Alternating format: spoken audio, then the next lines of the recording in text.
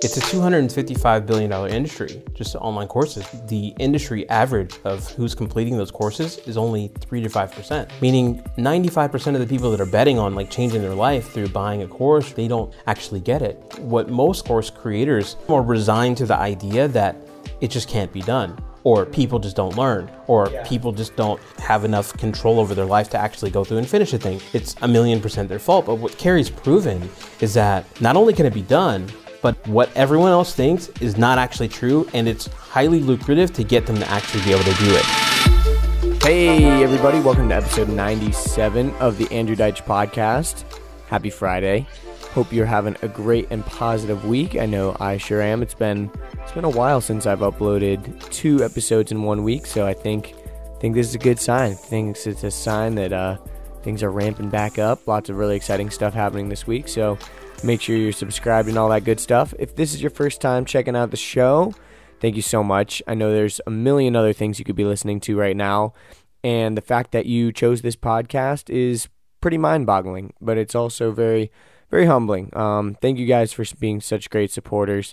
If you're new here and you don't know, this show is all about having conversations with people who I find to be very interesting. Maybe they're entrepreneurs, athletes, uh, entertainers, influencers um, whatever. And we meet up in person to have awesome conversations where they share their story and where they got how they got to where they are today. And all my podcasts are recorded in person, like I said, so I'm very lucky and I was able to catch up with my friends Dr. Carrie Rose and Lechon Kirb while they were here in Atlanta. And if you don't already know, Dr. Carrie Rose is an educator, an entrepreneur, a keynote speaker, and last year, she was actually listed as one of Huffington Post's must follow women entrepreneurs. And she holds her EDD in educational leadership from the University of Central Florida. Her doctoral dissertation was on professional development, and she's best known for her innovative teaching strategies and methodology. Right now, she her current research is in course completion rates and connecting online course development with the science of learning. And her partner, Lechon Kirb, he is the creative side. He's the multimedia strategist. He's an influencer. He's also a keynote speaker, which is pretty cool. And his focus is on helping entrepreneurs create a life of freedom by reaching their ideal audience with the right positioning and then monetizing those ideas with digital products. Um, he's been featured. His his prior work um, has been featured in Forbes, Red Bull, Universal, NBC, BET, VH1, PBS, Smirnoff, BuzzFeed, Huffington Post, and much more. He's really talented, and together they're a freaking powerhouse team that helps online course creators reach their true potential by using proven methods to create courses that not only get completed but are also extremely effective. And during our conversation, we talked all about how they got started in the space, how they met, misconceptions about online courses, what common mistakes course creators make, and also why Dr. Carrie is not encouraging her kids to go to college, which is pretty crazy coming from someone who has three college degrees. that was pretty crazy. And this was a badass conversation. I learned so much. And so, without any further ado, please welcome my guests, Dr. Carrie Rose and Lechon Kirb. Sweet. Well, I am here with Lechon Kirb. Am I saying it correctly? Yeah, you nailed it, dude. There we go. And Dr. Carrie Rose. Hello, hello. How are you guys? Awesome. You? We're doing awesome, man. Well, we're here in Atlanta, which is probably uncommon for you guys. Yes. Not uncommon for me, but very exciting this to have you guys. Base, man, for you, right? Yeah, yeah. Well, um, you guys are here from Orlando, right? Correct. Orlando, Florida. Very fun stuff. And um, like I mentioned, normally I kind of kick things off just by asking you guys to share kind of who you are and what you do in your own words because obviously I've kind of introduced you already, but it's always it's always good to have it in your own words what you do. Sure. So, well, what we do is what we believe. And what we believe is that this moment in time, uh, more than any other moment in human history, purpose driven entrepreneurs have this tool at their disposal to make a massive impact on a global scale through the power of online courses if they. Oh. My microphone was slipping, apparently. If they take responsibility for their student success. Very cool. Yeah. I agree. With the microphone too. Yeah. That's awesome. Just to zip it up for you a little bit. I had bit. to zip in my hoodie, y'all. I mean, to ins- to explain it in regular people terms, am I not regular? you're extraordinary, and that's not even you know you're extraordinary. Um, what I like to think of it is like we we help people turn their passion or their ideas into something tangible that they can use as a mechanism to create freedom in their life. Um, in in the space of online courses, like Carrie's a doctor of education, and she takes. I I mean, when she built our process, I mean, she took over 500 plus research studies of what actually causes people to learn when they take online courses. And why that's important is if you're an entrepreneur and you're looking to like really get your message out there, is you want it to like if someone buys it from you, like you want it to work for them so that they can go deeper and they can get those wins and, and so that for us is like what's so significant about it. It's like it's the freedom of it. Um, to kind of back up a little bit of, of why I even care about that is like when I was um, six years old, like I, I grew up in Pittsburgh, little mining town, you might have heard of it. Um, best football team ever, Steelers. um, I actually had I had um, Hines Ward's agent on my podcast. Did you really? Pretty Awesome. cool. Yeah, pretty awesome. Yeah, so any that- any Pittsburgh Steelers fans definitely go for the to that win, one. Pittsburgh for the win, yeah. Indeed. Um, so I grew up really just um, in this kind of crappy town or whatever, um, well, crappy subtown of Pittsburgh, and this one day I was I was at home playing hide and go seek with my um, my sister and my cousin, and my mom happened to be home that this particular day. Um, she wasn't usually home because she worked like a couple jobs and was working like trying to build a bus- business and all this kind of stuff. So she wasn't usually home. This particular day she was, and so um, my cousin and my sister got the idea that they were gonna go like play hide and go seek, but they were gonna hide upstairs. And I was like, man, I'm gonna go hide in the basement because our basement at the time was like the no-go zone. It was like super scary, super dark, moldy, cruddy. Like nobody would go there. They were, like it made no It was sense. like the best place to hide a dead was- body. Yeah, exactly. So yeah, so I go down like I, I can still see myself like I'm walking down the steps and you know I get down there and it's like kind of flooded in the basement. My mom has this old refrigerator in the back of it. And I unplugged it, took out the racks, and I hid inside the refrigerator. But I ended up like trying to get situated. I knocked it over on the door. And so I slammed this thing down. I'm trapped inside there. I'm clawing, I'm screaming, and I'm like, you know, I can't really, I can't breathe. And I'm in there for probably 25 minutes or so before anyone ever discovers there's anything wrong. Whoa. And she she just happened to get out the phone happened to like hear me down there like making a fuss and came over, kicked the thing open and like literally like I get out of there, I'm gasping for air and like literally that was the moment for me like I discovered like I need to have freedom. I need to choose how my life goes for me and that became like the theme of how I I see things. Like how can I access that? You know, today it looks like entrepreneurship and what are the ways that we can access that, but like it started really early. Wow. That was when you were what six? You said. Six years old. Wow, that's crazy. Yep. That's and I know that story. Only because I lived in this place called Homewood, and I, you know, the school I went to at that time, I went to 14 different schools before I got out of high school, but I can always track it back by what school I went to at the time. That you know, so yeah, Very very Freedom. cool. That's awesome. And Carrie, you said um, that you kind of had a a traumatic experience as well when you were younger. I know, my mama dropped me on my head. I'm just kidding. Um, so, but you would and made me real smart. She made me real smart. That was amazing. Two degrees of theater Yeah. later. Um, no, so I witnessed a pretty traumatic experience when I was about four years old. Um, and what it left me with was something called selective mutism. So if you can just picture the shyest person you've ever seen and then multiply it by 100. I didn't speak really. I could physically and didn't for about six years of my life. Um, I also have dyslexia. So between not speaking and the dyslexia, um, I started fifth grade not knowing how to read.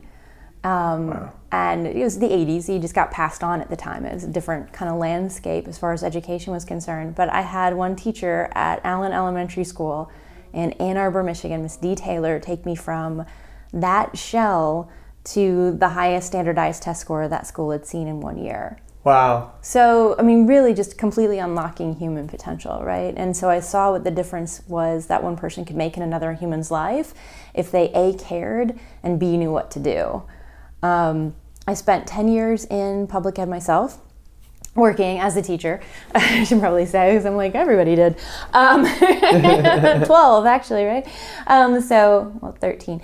Um, if you spend ten years working in public ed, primarily in schools with high percentages of students from low socioeconomic backgrounds, so they would go home on Friday and you didn't know if they were going to eat until Monday morning. That mm-hmm. kind of mm-hmm. environment.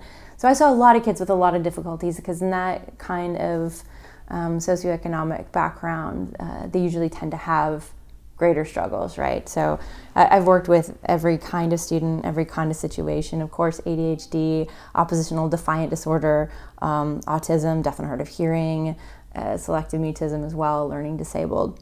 So you name it, I've seen it. Um, and I just kind of attacked everything with that same kind of passion that she had. You know, like how do we really give our heart to each of these children? And then what are the strategies it's going to take to move the needle for every one of them with all of their intricacies, mm. right? Um, and I had one class one year where we actually leveled the fourth grade students. So I had the bottom out of seven classes at one of the worst schools in Florida. Well, so they like graders. ranked the classes. Ranked so this is like classes. the best class. Did the kids know that? Mm, fuck no. I'm sorry. you can say fuck. I don't care. That's amazing. No, that would have been horrible for them. no, they're yeah, like no, 18 that, now, and they're I'm probably glad like that that's the case. Yeah. Yeah. yeah. no. So anyway, so yeah, they, we ranked the children. Um, and then my class had, you know, if they weren't already established as special needs, they had, um, they were labeled like, not really labeled, they didn't have a high enough IQ to qualify for special needs. So mm. their their IQ was already so low that there wasn't a discrepancy between their ability level and their IQ. So therefore, they didn't get any special services. I took that huh. class and created the greatest learning gains that school had ever seen with a class wow. in one year. So, I mean, essentially becoming Mrs. Secret? Taylor, Mrs. Taylor, giving a shit and knowing what to do. Mm. Amazing. I mean, it's just powerful stuff, but I mean, every strategy I ever use is research based. I don't just make things up. I look at analysis, I look at different meta analysis. So, the, the things that we've used to create the formula that we use for online courses now, it's all based on over hundreds, it's hundreds of research studies. It's not like, oh, you know what, I tried this one thing, this one thing that worked this one time, so I'm going to do it again. It's like, no, there were hundreds of studies done, and it says that this has the strongest effect size, meaning like, you know, nine times out of 10, this is going to make the biggest yeah. result, so we're going to do this thing, you know, and that was kind of where I kept it inside of that classroom as well and giving a shit. Um, so I decided to go get my doctorate in ed leadership. I was thinking I was going to work for the state um, or federal level of uh, the Department of Education. I'm like, oh, I'm going to go make a difference because I can't do one class at a time. I'm like, where can I do something bigger? Mm-hmm. So I'm getting my doctorate and I'm like, okay, I'm learning all about the bureaucracy and, and all of these departments. And I'm like, I just don't really want to go play in that because that sounds horrible and depressing. Mm-hmm. So I'm you get sounds like the fun. politics of everything. Yeah, I'm like I wanted to yeah. enjoy my life too, but still make a difference. Mm-hmm. Right? So I'm sitting at a world of beer one night trying to figure all of this shit out, writing my dissertation on professional development, and, and walk three guys and they introduced me to the world of internet marketing and online marketing. Well, and yeah, um, they said things like affiliate marketing and SEO, and I'm like, I don't know what the fuck you're talking about. Like, what is this? And they were like, well, here. They kind of took me under their wing and gave me access to online course after online course to teach me online marketing. And I'm like, wow. What year was this? 2012. Wow. Yeah. So it was great, and it also showed an area that we could definitely improve in. So I'm mm. like taking these online courses and going, okay, this is fascinating, and thank God I'm smart and I write fast. you know, it's yeah. like because my critical thinking brain is thinking, okay, well, how do I apply this? Okay, well, how do I figure this out on a deeper level? Okay, well, how do I learn this to be independent? I'm not looking at it as okay, I'll just do what you say, right? Mm-hmm. Um, and that's when I started like going down into that path. But you know, as I branched out on my own, and then of course with Lechon, we started to see world of online courses not just in that you know they're not just using the right strategies as far as learning is concerned we're also seeing it as like there's a an area of weakness here in in terms of our course completion rates so on average it's about a three to five percent completion rate, and a now two hundred and fifty-five billion dollar industry, which is up from one hundred and seven billion dollars two years ago. Wow. I've had clients get up to ninety-six percent completion rates. Holy shit.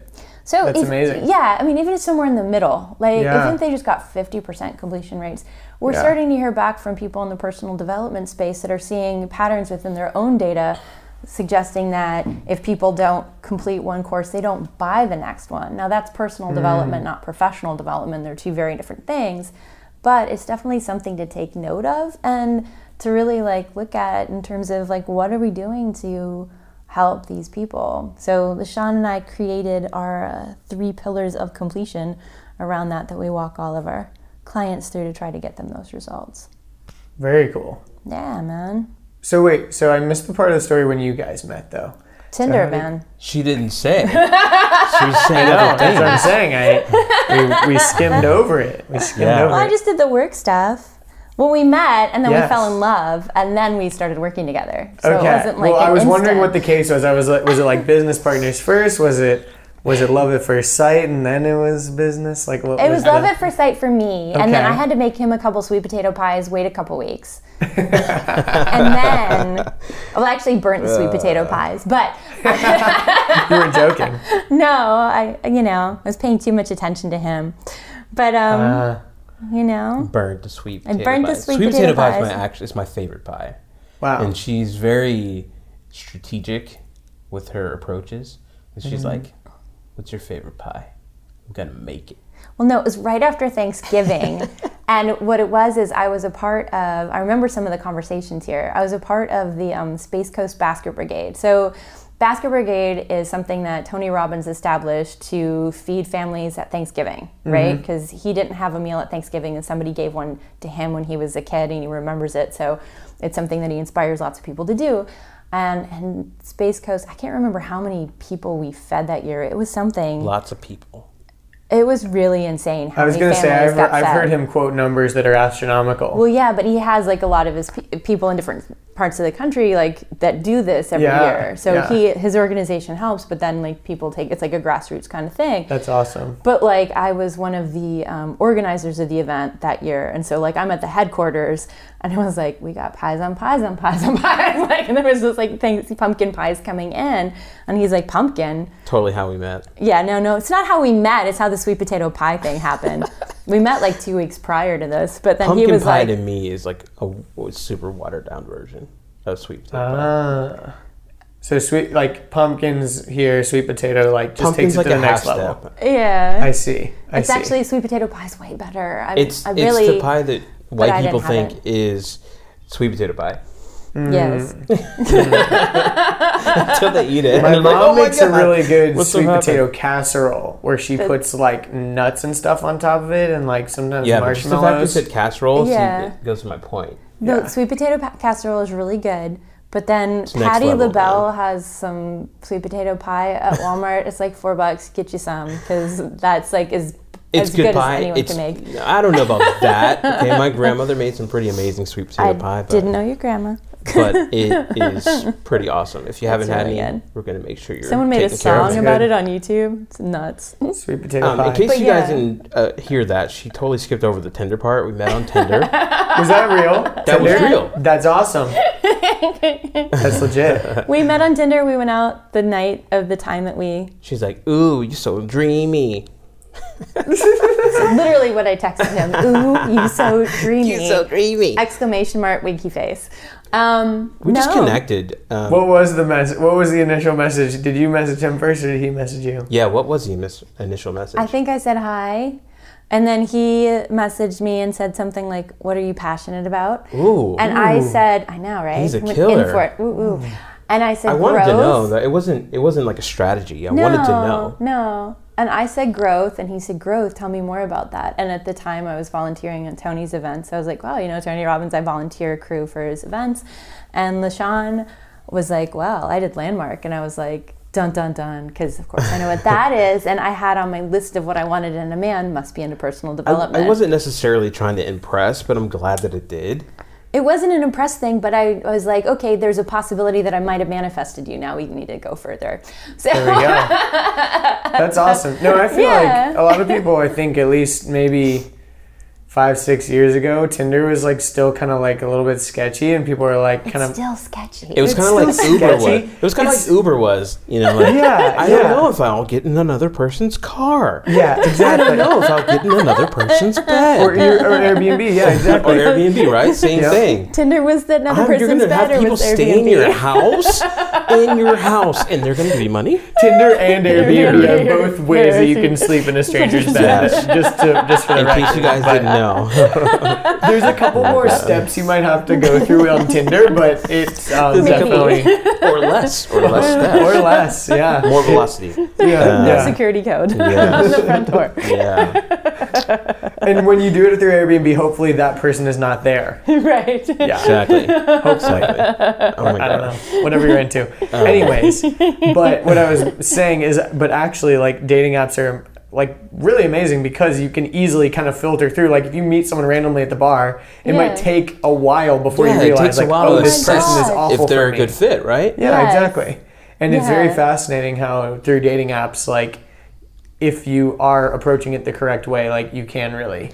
I feel like through social quickly. media is doing that for friendships and business connections and all that kind of too, because you can filter and see the kind of things that people would say and Mm-hmm. kind of what their political affiliations or thoughts are about racism and this and that. Like you can kind of filter out like, wow, I don't really like the way that person thinks, and Yeah. you can kind of get a feel for what it's like to interact with them, and then like you're easily able to assess if it's someone that you really resonate with. Well, I think also just being super true to yourself when Yeah. you're having conversations, whether it's social or otherwise. Like on, on our first date, I said something that would be totally outlandish to any normal human being just because I was like, well, if he is the person that I was trying to bring into my space, then He it's needs to be cool. weird. And then if it's not, then I'll know really quickly that this is done. Um, and so I was like, okay, well, I believe time and space are malleable. And he was like, yeah, me too. And I was like, all right, well, you're still around. Let's keep going. I mean, you know, it is malleable. I mean, even if you look at how it works, like space and time continue, it bends. So we already know that it's it's literally malleable, meaning the way that we interact with time is not necessarily the way time exists all over the universe. You know, I, and I guess maybe that's a particular person that would have that conversation with mm. you, but it's literally malleable. It's not the same. Like there's not the same amount of time that it takes to complete a day on every planet. Yeah. You know what I mean? That means by itself that space and time is malleable.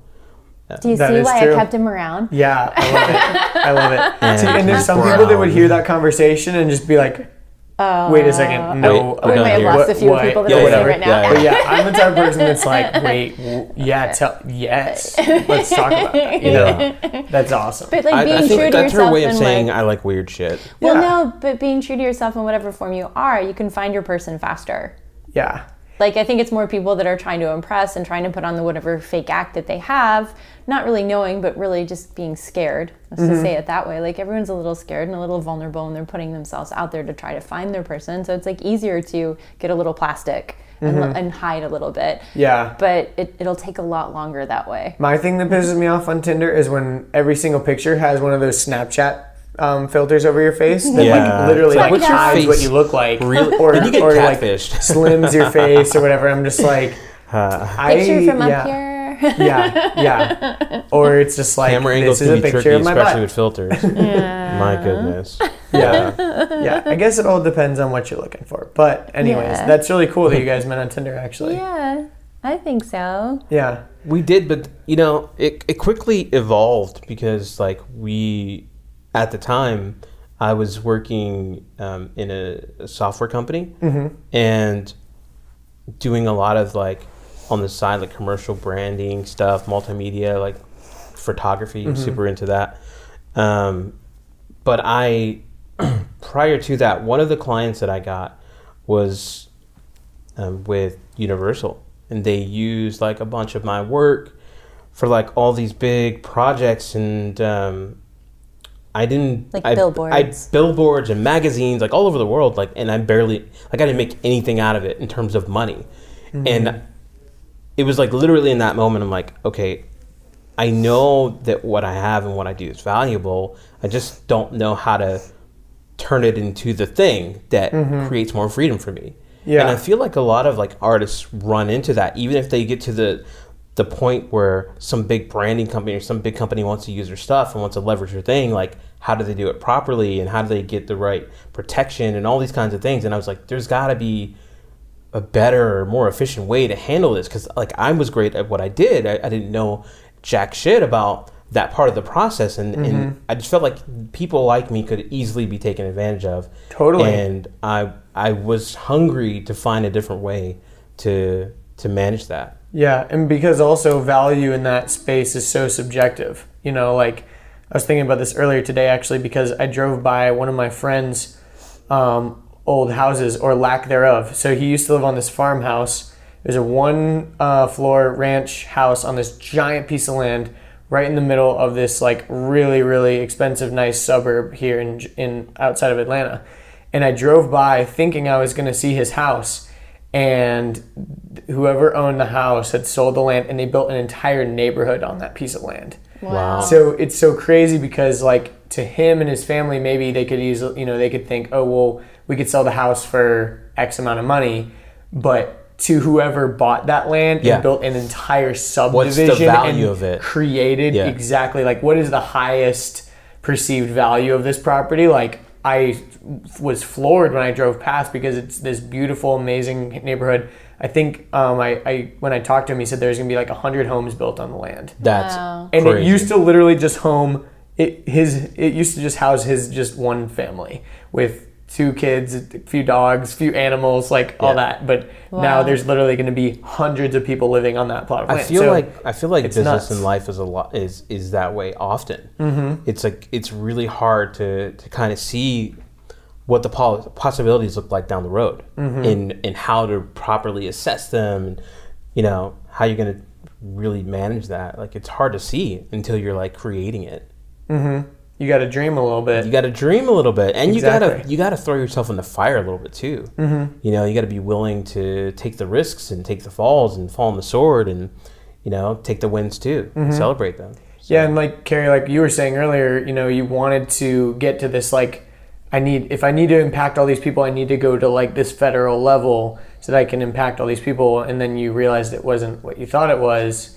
And and one thing that comes to mind when I think about you guys kind of creating this platform for other people is um, I think it's like a Steve Jobs quote where he was kind of saying like your art can impact like so many people but if you can create a tool or like a an instrument that allows other people to create their own thing that is infinitely more valuable. And i'm not quoting him exactly but it was like the gist of what he was saying and that's kind of like what he created with like the mac you know? It's like he created this computer that gave all these creative people this outlet, you know, giving them the free iMovie software and GarageBand and all this stuff, like was enabling these these young creators go and and change stuff the world. Yeah, To, Yeah. It Forever. literally changed the world. It's kind of crazy. Well, yeah, and you can compare me to Steve Jobs any day of the week. Yeah, I I'll totally just totally take it. Thank you.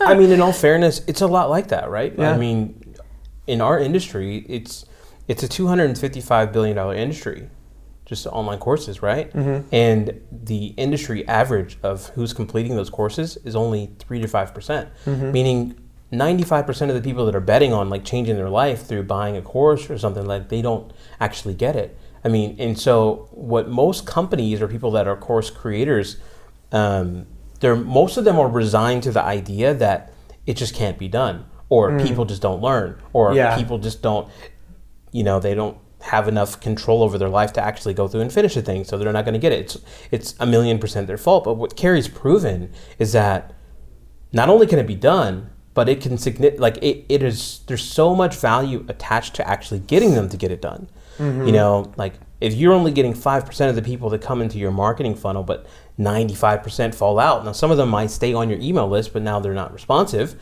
you know because they didn't get that initial value. But like if you can up that number by just doing it better you know i think where people fall into the hole is like they have no idea how to do it better and mostly how they're gauging their own success is if they're able to sell it properly. Mm. They- Right. well, usually, if they're able to sell it and what their refund rate is. Mm. Yeah, so not a lot of people are refunding. I mean, they're not complaining a lot, Yeah. but, but they're able to sell it. So they're so most of the entrepreneurs, business owners are like, hey, I'm I'm making millions of dollars in online courses, so it's doing well. Not like how is this impacting my students' lives, and and how is this actually serving them? Mm-hmm. Where are they falling out? Where are they falling off? Where are they being impacted? So she's been able to prove like what everyone else thinks is not actually true, and it's highly lucrative to get them to actually be able to do it by doing it better. Mm-hmm. It makes actual it, Totally it makes total sense when you think level. about it that way. But you're I, you're right. Like a lot of these guys that are selling online courses, you know, a lot of people that come to mind, a lot of them are like salesmen at heart. So they think just like, oh, I'm getting tons of people to enter my course. Yeah. that's like the metric. the selling of it is the win for them. Mm-hmm. But like, how does it, how do you lend the value with your audience? exactly. Well, even if we just look at the ones that are like coming at it from a true place, because I think of sales as service, right? So if they're even coming at it with their hearts and going, you know what, I really want to help these people, but then kind of leaving it to the the treadmill mentality, like I really want to help them, I sold them, I did what I could, but you know what, people buy treadmills, and by January fifteenth, they're kind of like over it already. You know, so what am I going to do about it? And I mm-hmm. think that's the wrong way to look at it. And for those of y'all out there that are listening, I hope you understand this. I look at it like these people are guests in my Italian restaurant, right? Mm. And if I have plates of food all over the place, and you know what, only 3% of the customers that, you know, come into my restaurant finish their plates and everybody else walks out with some degree of leftovers on their plate, I'm going to be looking at a lot of different things. I'm going to be like, hey, did you did they get the doggy bag? Or are they just leaving it here? What's the percentage still on here? Like, what's going on? What do I need to throw out? Like, oh, they didn't like the mm. pork chops. Maybe I need to get rid of that shit, you know? And like, start examining it, examining it, and really looking at like, am I doing the best to serve once they show up? Hmm. That makes a lot of sense.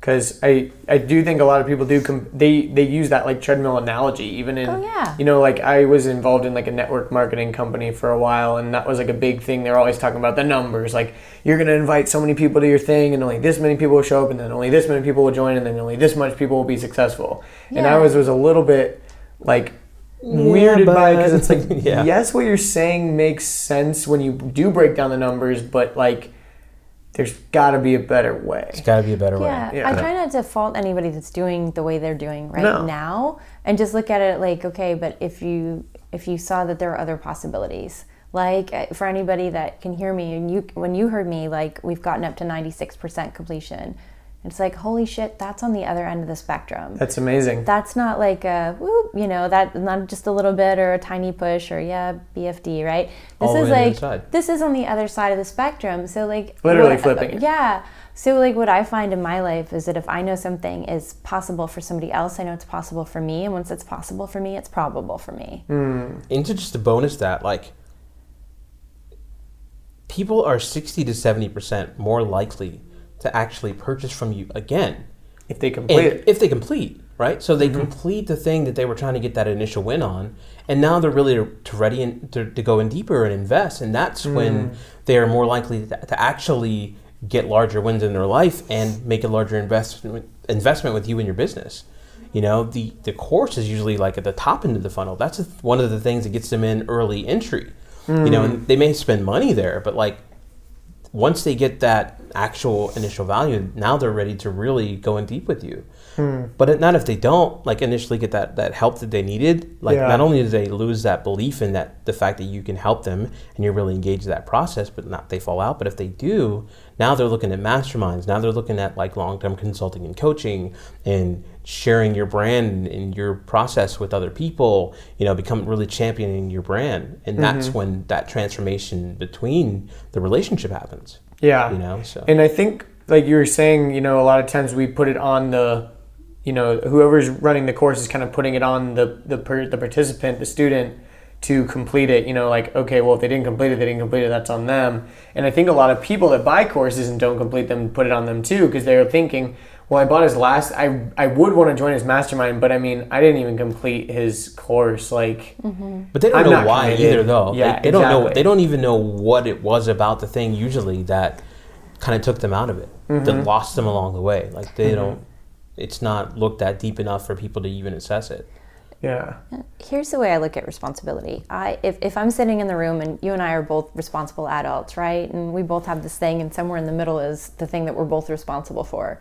I don't control you. I do control me. I control every way that I show up to make sure that that thing that you're supposed to be responsible for also like it's as high of, you know, degrees of integrity as I can make it on my end. And that's really all that I ask of course creators and everything that I put my heart and soul into. You know, we did a lot of research going into our completed course, the completed course book um, that we put together. That is just, you know, like all of the strategies that we could find that are out there to really, you know, turn that up. Like, how do we get it to a point of more and more completion? How do we get it to a point of more and more consumption? How do we really get it to a point of more and more application? And ultimately, how many more lives can we change? Hmm. Right? Because, like, eventually the completion isn't going to matter. It only matters right now in the form of online education that we have at this moment in time. But eventually, we're going to get into a lot more intuitive processes where people are going in, they're finding the one thing that they need, and they're getting out. Mm. You know, because we don't need to take their time. Taking their time isn't giving value. Giving value is giving value. Taking time is taking time. Mm. You know, it's yeah. not the same equation. So we're going to need to figure out how we can, huh. you know, charge for the value and not for the time that we're giving and yeah. really just get them to the point. But right now, the way That's we've got courses structured is if you don't have time and seat, you're not going to get the end result. But it's just the way we've got it set up at the moment. Yeah. You to know? me, it just equates to like having more fun have more freedom and more fun. That's I want like, everyone yeah. to have more fun. Guys, yeah. go out I and think, have more fun. I think people want to have more fun and freedom. I really totally. think they do. Oh no, I agree. I mean, and I think a lot of times, like one of the biggest things when doing an online course is not necessarily like you don't think the value's there. It's that you you're like. I don't know if I have the time or the actual motivation for myself. Like, I don't even know if I'll be able to make myself go through this. You yeah. know what I mean? Yeah. Because you're like, I know I need this, but like, I don't know, man. Like I also really love playing video games or whatever. You know right, what I mean? Right. And so it's like you, yeah. you, you, don't know if you have it on yourself. Okay, well I'm going to give you two different courses, okay? And I want okay. you to decide. I want you to tell me which one you want to take tonight or okay. you want to buy tonight, right? Okay, okay. The first one is 25 hours long, and the second one is two hours long. I'm totally choosing the two hour. Right?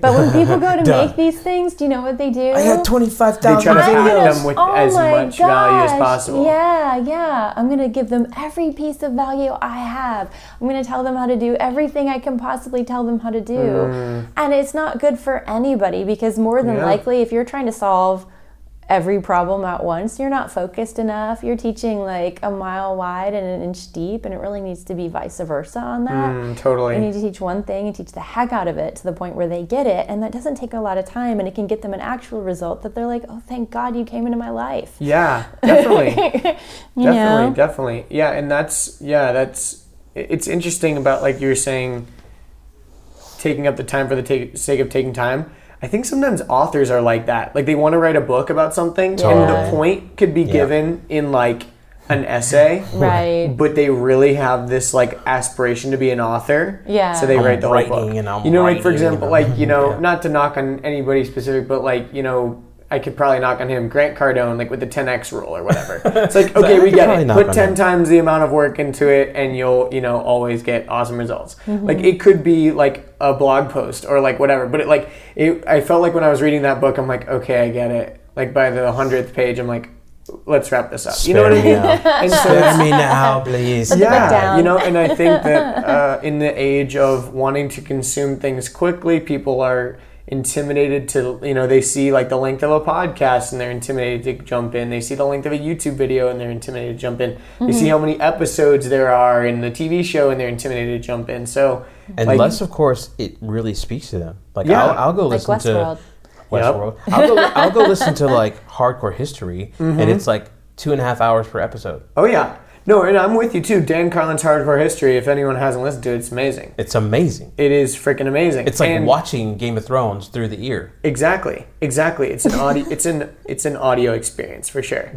But and I'm the same way. I love listening to long podcasts as well. And so, but the thing about podcasts that's interesting to me is that since I'm sticking it in my ears, I can still be productive and do yeah, other things. Yeah, yeah. yeah. Oh, that's what sure. I love about that's it. That's the thing I like about it. Uh huh. And sometimes that's what that's why I am so open to doing that. And I sometimes am intimidated by, like, for example, a TV show or even a course or something. Because if it's Yeah. video, I'm like, I can't just do this while I'm driving or whatever. I'm like, I need to, like, sit down and do this, and it's a whole thing. It still gets and really that- vivid for me though. Like Well- if I listen to something like that, like I Yeah. it, it gets really vivid for me because I'm so listening that I'm now visioning and picturing and experiencing, and then like I will become lost in the thing. Yeah. Also, so it's not a very Yeah. good tool for me to multitask, but it's definitely an experience. One thing that I've heard it, that is interesting that people say is once you like are after you listen to something or while you're listening to something, if you take a walk, because you start to like associate the things you're listening to and the things you just learned like to the things that you're seeing on your walk, which is like you're almost like attaching like a visual uh, association with something that you heard. I don't know if that's true, but like sometimes when I I've been listening to podcasts in my backyard or something, and then when I go back outside, I'll like see that thing and think about what I was listening to on the podcast, which is kind of crazy. Well, I mean, just you know, thinking about this and keeping this in mind, if you were to create a, a course, what would stop you from having audio? Yeah, no, it wouldn't. You know- and I actually would prefer that in some cases. Right. For I mean, so I recommend for all of our clients to go ahead and film the videos, strip the audio, have the audio transcribed. Yeah. And have all three, you know, methods available for any of your students to go through so that they can just choose which one suits them best. The, the idea is you want to get them the result that you promised. Yep. You want to change their situation. And if you do it out of your way, out of vanity, Mm, right? Or your way because that's the way you learn, mm-hmm. That doesn't help everybody. Yep. You know, a lot of times we create these courses for us, Mm-hmm. or we create them based on what we've seen. So, like, if you've seen course videos that are like 45 minutes long, it's like, well, that's not based on any research whatsoever. It's actually just based on, well, when I was in high school, my periods were 45 minutes long, which is really based on the teacher needs a bathroom break, Yeah. right? And you got to switch classes now. Yeah. There's nothing to do with learning. In fact, they've done studies and found that, you know, people fall off uh, online courses at the seven minute mark. Wow. So your video should be like three to five minutes long. Yeah, totally. Take a break, come back, do another thing. That's awesome. So, what kind of things do you do when you're not doing courses, Dr. Carrie Rose? I really like kayaking, but I don't go enough. I go out on my friend Ian's boat with you. I like craft beer. I hang out with my kids. Yeah. Not with beer. not together. You guys might not know this about Dr. Carrie Rose, but she's got killer dance moves. I have great dance moves. wow. and Yeah. great choices in music, except for when she's upset with me. Um, Oh, gosh. In which case she plays 80s rock, so I We can were- vomit to myself. He, he said something that ticked me off on the way to Georgia. And so we're in the car from Florida to Georgia. And then we got stuck behind, oh gosh, there was a car accident up ahead. So we were there for a little longer. And during that time, I don't know what the heck, and I don't want to relive it, honey, but just to let them know, I, I started playing Bon Jovi. Because I was like, oh, you know what he'll really love?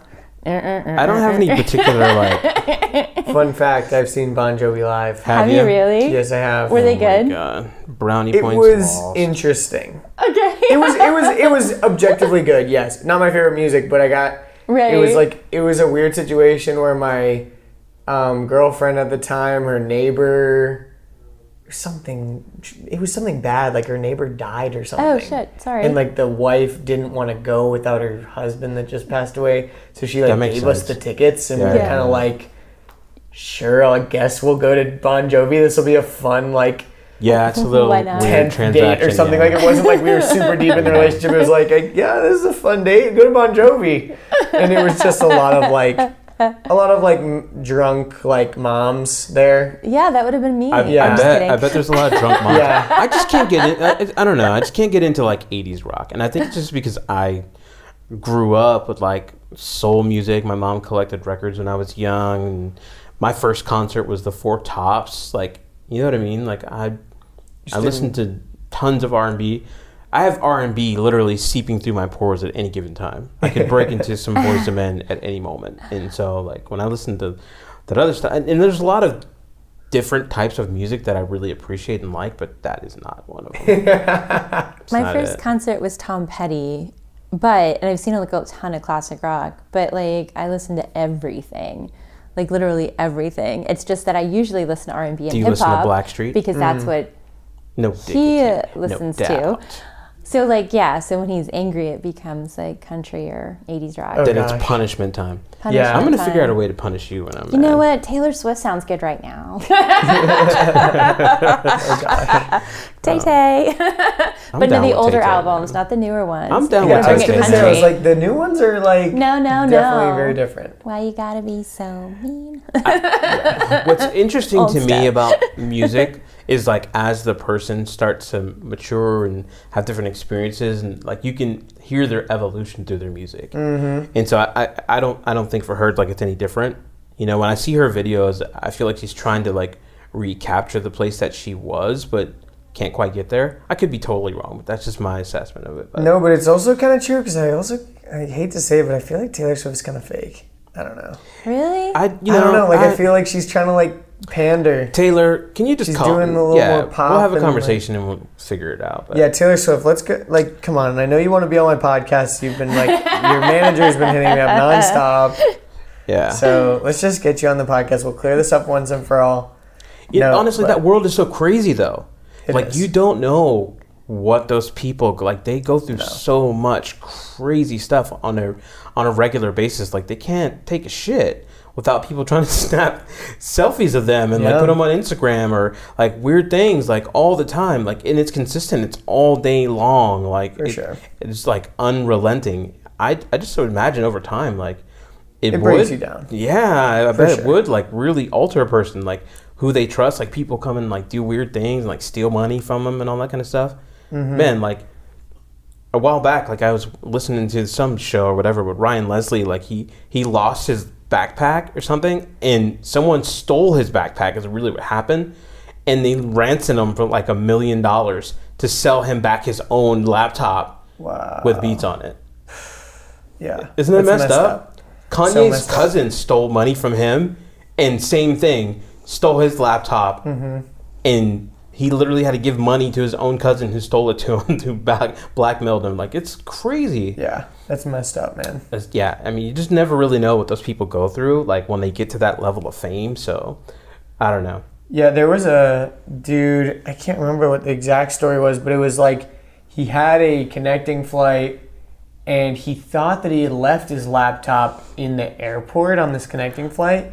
But then he had some program on his laptop where it was like a security program where when it opened it up, if he had reported it as stolen or something, it could take a picture of the Oh. person. Oh, who was there? Which is pretty Oh, crazy. That's crazy. And the person that had opened it was the guy that was sitting next to him on the plane. He snatched it while he was sleeping in the plane. oh, that's wow. see what I mean? So gangster. But he but he was Not like a famous musician, but I don't know if the guy next to him knew it. He probably mm-hmm. did.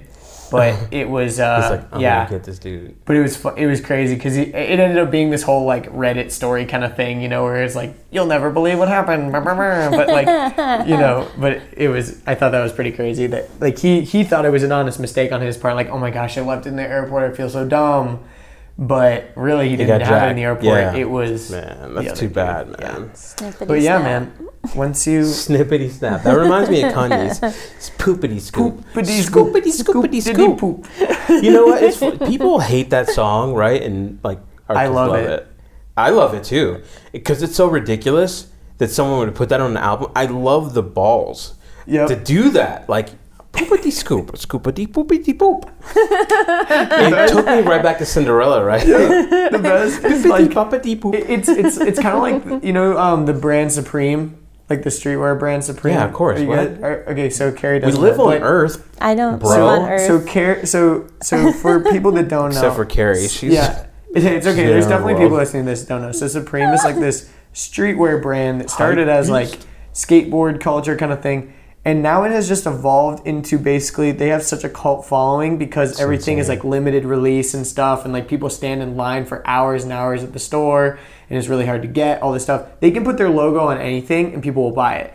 Like they've I mean, released it crushes too. it crushes. Like this bag, if it had Supreme on it, it would go for twelve thousand dollars. I've seen that happen a few They, times. they did a collaboration with Louis Vuitton recently, and like those pieces are like stupid expensive. They're insane. Yeah, and like, but but the the thing is, it's like it's like Kanye knows, and and like so Supreme a while ago they released a brick, literally a a brick like a construction brick with the Supreme logo stamped in it, sold for like thousands of dollars. And these people were just buying it. And it was almost like they were trolling their own fans. Like, we can sell you anything with our name on it. And I feel like that's kind of like what Kanye is sort of doing. Is A like, million percent. I know that I am at such a high level of cult following that I can literally make a song that took me five seconds to make saying scoop diddy poop and people will listen to it. I Like, lis- I I've am a listened to it. Like that's how he I've listened to it hundreds of times. I have. Uh, I, I really have. It's pretty catchy. It's super catchy. It's the weird thing too is like if you listen to any of the interviews that he's having with people, like he's he's trying to say like the ability to free think and free choice and all these kinds of things like are being oppressed, and he's mm-hmm. like fighting against it with like tooth and nail. Like every time he says something, people will say, "Hey, you didn't say it right," or "You didn't you should have said you shouldn't like Trump" and all this kind of stuff. Like who cares if you like Trump or not? Like he's really just assessing the fact that he can get as much attention as possible, and then he mm-hmm. can convert that energy into something else at Yeah. any given time. Whether you love him or you hate what he's doing, you can love him and hate what he's doing, and still from the fuss that is caused about it, like people mm-hmm. that aren't familiar with his brand or the things that he's involved with, like they're now familiar. You know, whether and it doesn't matter if they're talking badly about it or loving every ounce of it. It's still he's able to convert it into something else. That's exactly what Donald Trump did. That's a million percent what he did. I I can't stand anything Donald Trump does, and it doesn't matter because it still gets tons of attention. Like I have to literally fight back the the urge to go and say something. And not because I'm concerned about how people will think or feel about my thoughts about it. It's just I know that it just adds to the pot. like Exactly. No, I don't Every wanna time someone in. says something like, "Oh my gosh, that new Kanye song sucks," it's just like It doesn't Yeah. matter. It gets more spends because people are like talking trash about it. Mm-hmm. Ugh, craziness. In the new album cover is literally like an iPhone photo with green like scribble text on it. It's just like literally I could have it, it's it's like modern art like yeah, I, you could have made that, but you didn't. So, haha. Like, you know, Yeah, like, I mean, anyone could have made this stupid Scoop Diddy Poop song, but I made it, so you're gonna listen to it. So, haha. I mean, there's a, there's certain there's something to, to be said about like being proficient in an art form, but I think where um, what he's highlighting is really that the art form is not necessarily about the action or the art itself at all. It's literally about the being of it. Like you know, Virgil is going and, and he's you know remixing all these clothes and all these all these things. Like if you look at any of the like um, off white things, like they're so simplistic. Off white you- being a brand, not the color. yes, off white brand. Let me let me be specific there. If you look at Look like, at anything that's off Off-White yeah, look at the, anything of the off white brand. If you look at it in any of those collaborations with Nike or Louis Vuitton, like they look like something that you should have been able to think about and do yourself. But you know, I Mm-hmm. But think there's something to be you didn't. You know, and there's something to be said about the momentum and the being of the person who would just do it in the first place, and that's why Nike's like, you know, all over it, and why his brand is now like, you know, he's the head of freaking Louis Vuitton. Mm-hmm. It's crazy. And he's doing stuff with Balenciaga and all over the world, man. But And I feel know, like to take it back to like entrepreneurs, I feel like that's something that a lot of people like for me, I get imposter syndrome all the time where I'm thinking like, oh, my stuff's not good enough or I don't know enough or whatever, but it's like there's a lot of people that I look up to and respect and you know, I think that they're some super high level, but really like deep, deep down they're having the same sort of fears that I am. They're like, "Oh my gosh, I'm going to be found out, I'm a fraud, I'm a whatever." And I think that's probably what holds a lot of people back from like making their own courses and stuff like that is they're like, "Well, I'm not really an expert." Like there's a, there's so many people that know a way more than me. percent, a Yeah. million percent. They have something valuable, valuable to offer. Mm-hmm. They may or may not know the tools and the strategies of how to, to put it out there in a way that's going to be most effective. But that's where someone like Dr. Carrie Rose comes in. But like, they still have something valuable to offer the world. They have a perspective, Mm-hmm. and they they really have a monopoly on that perspective. Like no one can see it the way that you do, Mm. and like the connection that you have with people, like that's a that's a special thing you know because not everyone can replicate that and create that kind of connection with anyone that they they have a conversation with there's magic there and, and so like I think just settling into that as a person, as an artist, as an entrepreneur, um, there's a lot of freedom there in itself. It's like no one else can actually replicate this. They can't create that same thing um, that I could at any Yeah. time. Where does charisma fall into online courses? Because I feel like there's a lot of really boring people that could probably tell you a lot of stuff. And they'll but, snore you to tears. but exactly, but the completion rate is so low because everyone's bored. You know, I, I think it's interesting because now we have an opportunity for everybody to become an online personality. But then that second word should probably be a part of it. you know, and I actually had an interesting conversation with Michael Savage about this. He's um, one of the top salespeople or coaches with Tony. Um, but Just one of with the Tony. Tony Robbins. yes, we're on a first name basis. Yeah, yeah. Um, I yeah. had a feeling because I don't. I mean, I was like Tony the Tiger. Tony Robbins, I'm yeah, he sells a lot Tony, for Tony the, tiger. Yes. So That's the only um, Tony that comes to mind. I don't It's know. great. Right, right. Um, but yeah, like we were even we were brainstorming, you know, and, and I was interviewing him from the book. But you know, one of the things that we talked about is like, what's the potentiality for someone to have an entertainer film their course instead? Right? Like, okay, like let's say you don't actually have a personality.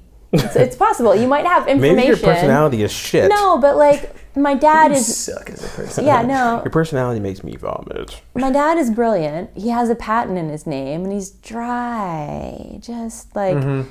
If you tried to get him to interview, if if I were him, like you would just be bored out of your mind already, Yeah. right? Just it, like five minutes into a conversation. Sorry, dad. Um, but he th- he knows it. Burn. the burns are hot over the here. burns are hot. He's Need so dry. ice for that burn. so dry. Singe. Sizzle. But like if you have that personality and you know it, but you have information and you want it to be a course, is there somebody you can get to record it for you? Like let's say you set up the PowerPoint slides and you hand a script to I don't know, some university student that has is working on their theater degree and have Yeah. them read the script and throw a couple hundred at them, they would be excited and buying kegs and you would have your script read. And, And it's not people an would- exact science either, right? Yeah. I think like connection and resonance is a thing.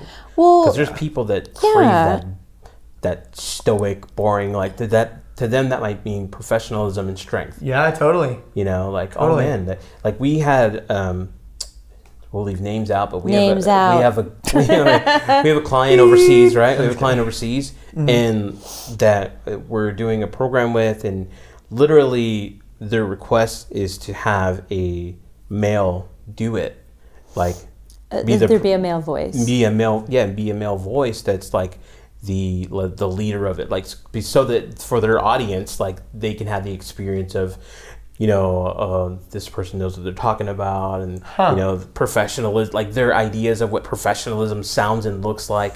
We had to create that by having a voiceover artist you know that sounds and looks that way. And even when we're going through the production of it like they're like oh well, this this image doesn't look like enough professionalism or, or they're not the you know it, I had to it just- take out all pictures of millennials. It was. millennials I like, was like, but this guy's beard is awesome. yeah you don't i mean know. millennials don't mean millennials didn't equate to success for who they think their audience would equate to success you know so it's like it's so relative mm-hmm. Mm-hmm. Definitely. But I'd say personality You're like, definitely. oh, that's a black family. Oh, take those guys out. Those don't look like business people. those are they're joking. They're a joke. I'm like, whoa. All right now That's why we leave names out. Yes, yes, yes, yes. about that. names out. That's hilarious. Yeah. But no, Totally it's totally true. It's Totally totally, subjective, and like for me, I there's like certain. I, I'm I'm a big YouTube guy. I love watching YouTube personalities, and I think YouTube that- is the best thing ever. yeah, I think that's what really draws me in is being able to know that like I'm I can have a pre- an appreciation for you know for example we were watching Westworld last night. I love Westworld because I know like because I'm over analyzing. I'm like how many people did it take to make this? Like you know you see the behind the scenes stuff and you're like oh my gosh they built that building like they didn't go to Japan they like built that on the set like I was thinking about that stuff you know but then there's also like I have a deep appreci- appreciation for watching like you know quote unquote YouTuber or like a personality where it's like I know that like there isn't a whole bunch of people putting in their two cents and Yeah. all this. Like this There's is this guy's opinion, and I Peter want that McKinnon, guy's Casey opinion. N- Neistat are like they're amazing at that. exactly. They're even like some of it's on the phone, some of it's on the DSLR, but like they're like on the streetcar or they're hanging out and whatever. But like it- just the documentation and the unraveling of their life or the the building up of their life, like he's doing with three six eight in, in New York, like it's amazing to watch. It, it's almost like you can you can feel yourself being a part of that evolution. Mm-hmm. You know what I mean? exactly. I love everything about that Yeah, me too, man. and, and where it's going with with internet technology and, and on how online courses play into that. I think in the next coming years we're really going to see a lot of evolution for that Yeah, because you can you can feel the momentum, especially as a creator, and if you spend a lot of time on YouTube, it's like you can see that people are just grabbing a phone and grabbing a camera and, and allowing the world to see them, you know, in lots of different ways that you you would have other like years ago people wouldn't even consider doing that. Mm-hmm. Like who would get on a skateboard and like you know, hey, I'm just filming myself like falling down the you know the road. yeah. all that People are stuff. like, "Are you making a movie? What are you doing?" Like, and now it's almost like you you know you go to some place like L.A. and you see everyone with their phone in front of their face, and you're like, "Oh, Yeah. that's just a guy making a video." well, well, well the, the not even, special like, thing about deal. that is like how to convert that energy as well. That's what I love about YouTube is like these creators that are on there, like they're people and they have a thing and they have a perspective, but then like they're able to channel that energy into a something that means money for them, really, and in, Mm-hmm. choosing how their life goes. I mean, man. Um, a buddy of mine, he's a producer, DJ, DJ M Squared, um, a real, real good friend of mine. Anyways, he just did this project with Baby Ariel, and I don't. uh, She's like this. She's a social media influencer, but every time she posts, like literally, and Gary Vee actually just referenced her in his new book, Crushing It. But like literally, every time she posted anything, 200,000, 300,000 people like it. Like, what can you do with that? If you put a thing in front of those people that they're hungry for you, and all she does is like cell phone videos, and she's got millions of followers, but like, literally, anytime she drops anything, it could be a t shirt, it could be a course, It could be a brick. it could be a brick. It mm-hmm. doesn't matter. She's literally just an individual going through life, being herself and sharing it with others, documenting it. And every time that she posts anything and she shares anything, it just flies off the shelves. And anybody can create that at different scales, but like YouTube is creating that for many, many people at different scales, and it's not going to stop because it's just growing more. Mm-hmm. You know what I Exactly. mean? Like people are like, "Oh, is it YouTube is saturated?" Like, It is no, no, no, no, no, no, It's not just at getting all. started. And that's the thing is, it, it's baffling when I like, you know, I find on Instagram or on on YouTube, like in the begin, in the beginning of YouTube, you know, it was like if you had like a million subs, like I mean, t- to this day, if you have a million subs, it's insane. But I think there's there's on YouTube right now, there's hundreds of people over a million subs, which is insane. Like o- over a hundred people have over 1 million followers on YouTube, like loyal followers. And the same thing goes on like Instagram. It's like you go on Instagram and you, you're like, this person has 5 million followers and I've never heard of them. Like, That just happened the other day. is this? Yeah, it happens to me all the time. I'm like, how are these people famous and I've never heard of them? It like baffles me sometimes. That happened to me a couple days ago. I was Yeah. watching this video, and it, it, it was a, a Casey Neistat video, and he was doing this, um, I guess, this vlog on his phone with this guy. He's like, "Oh, and I have this guy with me," and I'm like, "Who's this guy?" And he had just like the credit. I went and checked it out. Three million plus. No, no, no, thirty million followers on Instagram. I was like, "How have I never heard of this guy?" He has thirty million. That's like Kim Kardashian level. Yeah. I've never heard of him in my life. Right? I was like, oh my god, Who this was is it? crazy. I don't even remember the guy's name now. He's some That's funny. Canadian singer guy, and I was just like, Oh, oh, oh, it was, um, yeah, it doesn't matter. But yeah, I know who you're talking yeah, about. Yeah, that guy. That was the guy right there. Shawn Mendes. Yes, Shawn Mendes, Yes, it was yes. Shawn Mendes. I was like, Yeah. who's this guy? Because he did this cool video or whatever. I was like, who's this guy? Check him out. Thirty million followers. It's like, Yeah. oh He's huge. crap. I think I've heard him Crazy. before. Yeah, he's on the, ra- Shawn he's like on the Mendes? radio, yeah. Yeah. I You had He no started idea. on? Vine. No, I had he no started idea on who this guy Vine, which was. is crazy. He started making like Yeah. little seven second, you know, things on Vine and Instagram and whatnot. Oh, he was one of those Vine killers. I think Dude, so. Vine I'm was pretty because so- I remember like, people seeing him came on through and Vine. crushed- Oh yeah, I remember the guy from Vine, but I didn't know that was the same person. I didn't make the connection. Right? Yeah, I think it was him. Because I know I remember seeing him on Vine back in the day, and now he's like killing it. Killing but- it. 30 million followers on Instagram. Yeah, but yeah, it is crazy. Like you know, people have these like cult followings, but they don't know how to monetize. They don't know how to turn it into something. Well, that's the beautiful thing about online courses is, is that you can essentially like, man, you can make it. You can monetize your thoughts. You can monetize your freaking ideas, dude. it's pretty powerful. Even if they're whacked out and they're not complete. Like, literally, you could put it into a system of how you even arrived at that idea and the process for it, Mm-hmm. and make it available to the people that love you and are interested in, in, in what you're doing. yes. I know earlier we were talking about kind of your system for completion, and I kind of wanted to go back to that because it intrigues me, and I don't know if that's proprietary. I don't know if we can talk about it, but It's like Fight Club, bro. yeah.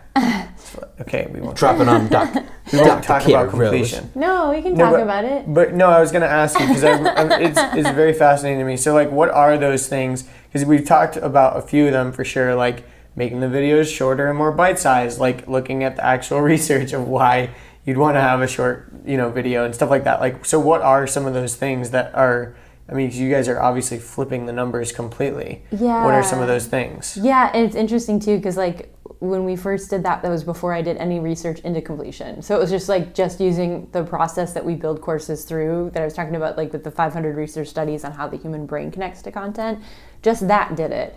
But like for me, I look at online courses as a blend of education and marketing. So like it's not one or the other; it's this and that. And if we start to look at it as one or, um, that's when things start to fall apart, right? So most of the time you've got people looking at marketing hardcore and ignoring the education component and then you've got the other side where it's kind of you know people like myself academics that are coming in and they're like oh we've got to teach them really well and then forget how to market completely or don't know you know? But um, when i went off to try to write the completed course i decided like okay i know what i know about marketing but i'm not a marketer. Like who can i interview? Whose ideas can i get? So i interviewed over 30 different you know pretty high level marketers. We've got you know insight inside of the book from like Ryan Deiss, Jay Baer, Pat Flynn, Jason Swenk, like Katya's in there, Katya Sarmiento's in there. There's a lot of really cool people that are inside of it giving their two cents. And it, what was interesting to me is that a lot of these interviews, when I'd say, like, you know, why do you think it is that people don't finish it? They'd give me uh, their perspective. And it was like one of those things like you expect to when you're going through like qualitative data when you're doing these interviews you expect to see themes and patterns. The same things coming up over and over again. It's like oh bullseye i found i found the magic pill. And it wasn't this at all. It was just like all these different variables. It's not one thing. It's a lot of different things. You know like that all combine to form this. I mean part of it starting with like just to give you like as much as I can in a little bit of time. Um, part of it's just starting with like the true intention, right? So even just looking at that, like what is your intention behind creating it to begin with? You know, are you creating the course to make money now? Um, are you creating Yeah. the course to change a life? and that's like i mean that put energy intention Yeah. is energy right and people feel that on the other side of it um, congruence is a big thing you know? And so you know holding true to that intention creating the course around it but then also you know i have my clients write their landing page copy before we create their course. Because a lot of times what happens inside of our industry is people will create these courses and then they'll say you know they'll turn to a copywriter hire one and say hey i need you to write me a landing page that's going to sell this course and they'll come back with it and copywriters some of them will even just follow the same formula they've done every time so they don't they're not checking to see what's inside your course they're just trying to sell it but if you've written your copy ahead of time and then you create your course and then you look back at this copy, I call it faux copy, but whatever, like you look back at your fake copy and you go like, okay, does this still match? Is this still congruent? Am I still mm. hand on my heart promising them that this is what's in it? Then you can take that copy and go, here, a copywriter that knows how to sell stuff. Here's my fake copy. This is what's actually in the course. Can you punch this up? Can you make this something that sells? I mean, I just think it's like a great way to like have expectations be in alignment.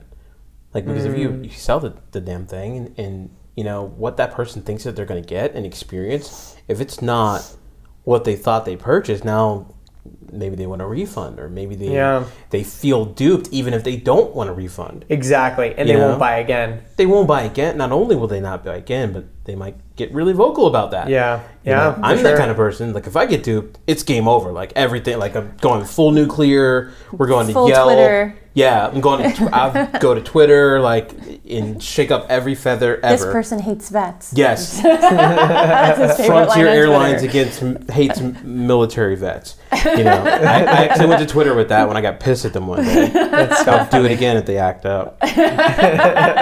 Frontier. We literally stopped flying them ever for any under circumstances. Like, nope, not We should have just done that anyways. I know we should. It's just you know Anyways. we anyways. should have handled our logistics Boycott better. My point is, is that like This is the boycott I frontier don't cast. they, I don't I don't think they hate vets, but like literally, I was so pissed. But that They just was hate my, black people. They don't hate vets. Yeah, just black people. Oh you are Black usually vets the are- only one it's on. a double, double. Ooh, man, don't be a black vet. I mean, I do Or get. a veterinarian either. They, they hate. I uh, get. all, I all get. forms of vets. I'll be honest, man. I get really revved up about stuff with with veterans and how these companies act with them because it- I'm serious. I do. Like I, I spent eight years in the Marine Corps, you know, and like if you if you're the kind of person that's going to sign yourself up to potentially die or potentially kill just so that other people can function in society, I feel like there should it should come with more bonuses than like a dollar off at the movies. yeah. and literally, so true. like and and so like when you when they know you're a vet and I just feel like there's other uh, there's better ways that they can handle it and they don't. And that's just more of a society thing, period. That's It's not really a frontier thing. it's not a frontier thing. It's But just it was also- frontier was in the yeah, crosshairs at But also, moment. like, if they are not being intentional with their system, like, because there's some people that would be, you know, there's, you know, peop there's disrespectful people out there. They're like, well, how do I know what you actually even did in the military? Because I know a guy that didn't even get deployed and blah blah blah. He's a lazy fuck and like blah blah blah. Like Yeah. they don't They- know that they you think were. they know. they- yeah, like they don't know that you were a marine for eight years or whatever because they're thinking in their brain, oh, this is just the blah blah blah guy or the, you know. I mean, even someone that works in the admin or post office, like by the time they even get there, they have to go through so many crazy things. By the time I even got to my first like even duty station, Mm-hmm. I'd been injected with anthrax. I'd been through I don't even know how many gas chambers. I'd been choked out underwater. I'd been like, you know what I'm saying? Like Yeah. I, I'd thrown grenades. Uh, I'd almost pissed and shot myself. you know what I'm saying? Like you, like all these different. I had hit. I'd been hit with like a ricochet bullet. Like it, just crazy stuff. Like you know, and that's before you even get to the like the real stuff. Right. Right. And then like how that impacts you emotionally and. Man, it's just crazy. Like, so I just feel like people don't really have an understanding of what it takes when you go into the military, especially any of the branches. It doesn't really matter. Like, you could find yourself in a world of shit in the Coast Guard yeah. easily. Yeah, for sure. You know what I mean? Like, oh my god, it's a thirty foot wave. What do we do? We swim. Like, you know, you, you- you know what I mean? Like, it's oh my, this boat is capsized. Can you do it upside down? Like, it's Yeah. yeah, it's you just don't really know what you're signing up for, and so people that haven't. They just don't have any access to the world of what the And people will are. say, people will say, well, you know what you signed up for, and They you're like, you don't, you though. don't know what you signed up. For. You for. really, really don't. You have no idea until you're there, and it's like a surprise. Like, oh my god, people are dying. You're like, wait, wait, wait, wait. We're going to a gas chamber. I didn't hear about this part. Yeah. Yeah, what's that CS gas like in your lungs? Can you breathe? No. Have Yeah. you ever been sprayed in the face with pepper spray? Man, dude, they would do these like pepper spray trainings where it's like pepper spray. The way I knew it before going into military was like in a little can, mm-hmm. but like in there, it's in like a tank, right? Like a like a fire extinguisher tank. like a fire extinguisher level, right? So, so we, spraying we would hard. do these trainings, right, where it's like, okay, now you're gonna turn around and we're gonna spray in the face, and then you're gonna breathe it in, and then you're gonna run and you're gonna fight people, and we're gonna have the dogs chasing you. See how it works. and you're like, oh shit, this sounds like a fucked up fear factor. dude, it's it, it's so real. They're just adding more and more things, and then you're gonna eat a spider, Dude. and then you're gonna have to swing It's, across the it's so real, man. and like it crystallizes around your eyes. So even it, obviously it's excruciating. It's like sticking your head in like a volcano. You know what I mean? Like the lava burning your face, but it doesn't like stop there. It crystallizes and then it hurts, and then if you go to like wash it off in the shower later, it just burns you all the way all like it burns your balls off. It's insane, and it lasts for days.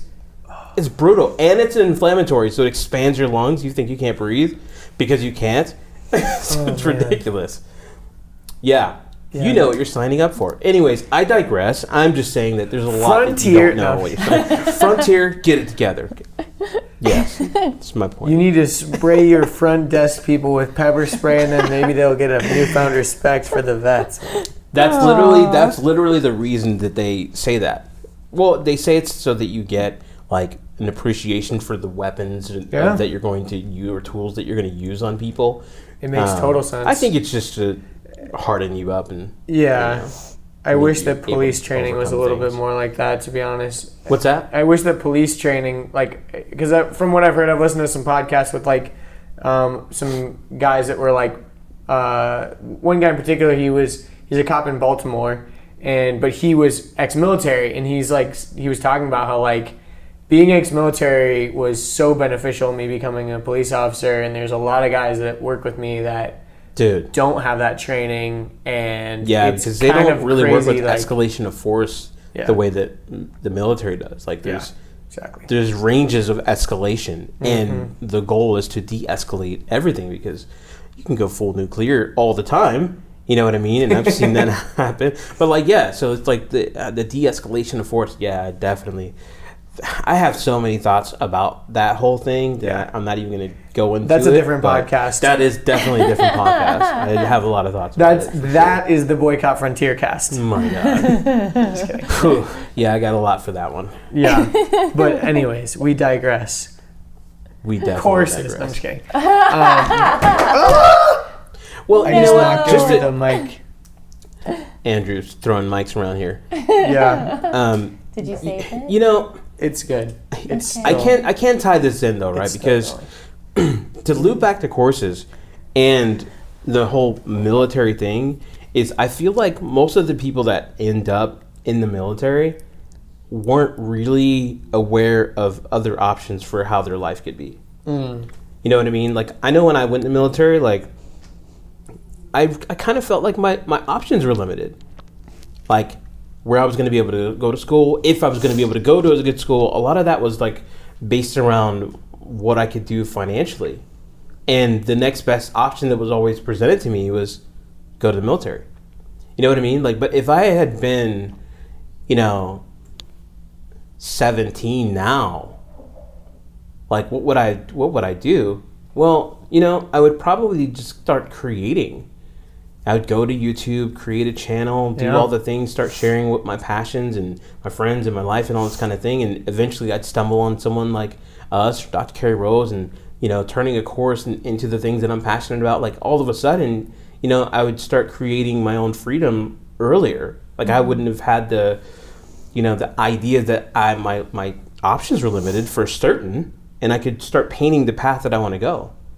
It, it's interesting. I have literally three university degrees, and my son is he's about to turn 15, and he has Florida prepaid um, college fund. So his his university, my daughter's university, is all taken care of. And I was like, look, your your finances are taken care of to go to college, but you've also going to spend like four years there. And if you want to like you know buy kegs and have parties, we can help you with that. But like you don't have to go to college for that.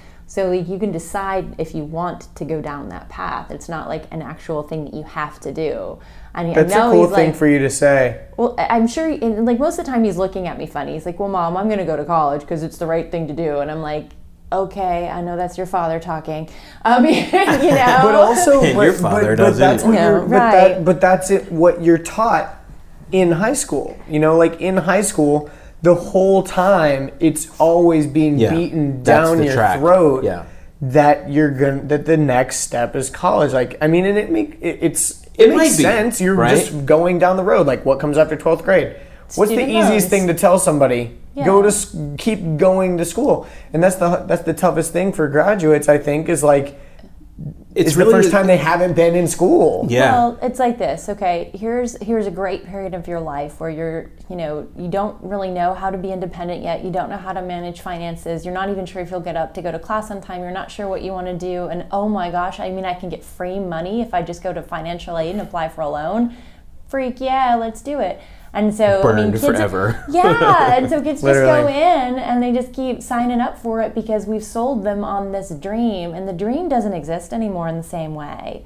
It just doesn't. Going to college doesn't get you what it used to get you. That And is just- my father's generation. We're talking about like this is baby boomer lore. Yes. Right? And it didn't even work then. If you look back at Think and Grow Rich, he specifically says like an education does not equal you know financial wealth and stability. It's like it's not. I don't. I'm not. Well, they don't doing even this teach it.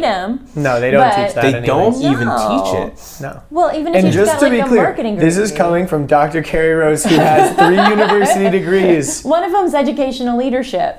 Um, Wow. Seriously though, that that is very, very, very impactful. Like just just because coming from me saying that type of stuff, people are like, oh yeah, of course you can say that college dropout kid.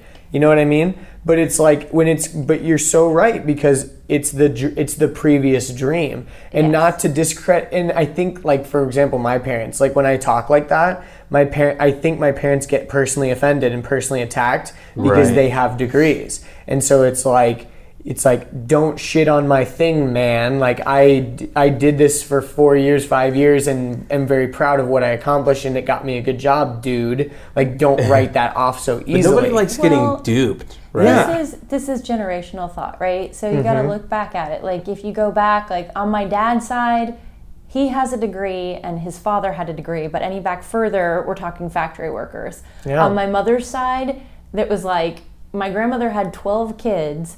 Out of all of those 12, there's, I can't even tell you how many hundreds of grandchildren. And me and two of my cousins have college degrees. They get busy. out of all of it right? And so and what it is is like your parents want what's better for what's they want for you better than what they had for them. Mm-hmm. they love you. And so they see this education path as you know if you've got people that are like still coming from like blue collar backgrounds it's like well gosh you know you have an opportunity to go get a college degree now because they have all these systems in places where you can go get it and i couldn't you can go have that house on the hill. That house on the hill mm. doesn't work the same way. I mean, it's still there for you and you can still get it, but that's not necessarily the path. And no one's really being honest about that part there. It's really tough too because they're not most of most of that generation like they're not familiar with like what you could do with Shopify or Squarespace. 99% of people aren't familiar they're just what you can do on like squarespace e-commerce. No. Like No. they, they, it's so hard to even put into their frame of thinking that like, wow, you could sell a thing from across the world that you don't own and drop ship it to people that are already looking for it, and oh, like start making money and you make the money in between. But like, it's so hard to like paint that world for them because of that frame of thinking. You know, it's Mm-hmm. so antiquated and oh, Antiquated. antiquated. That's the word. Um, it's so antiquated. Thank you, Doc. Um, that it's just so people can't even like grab onto it. You know what I mean? Like it doesn't exist in their world. It's not a possibility. If you really want to get yourself in debt and you're just graduating from high school, figure out how to to get college right away. No, no, no. Get yourself in good debt. Like figure out how to get a loan to buy a house and flip it. right Like no, no, I no. I'm with you. But the problem, but the problem is though. The problem is though, like you can't go and get a home loan if you don't have any prior credit. But you can get a school loan for hundred thousand dollars with no credit with nothing.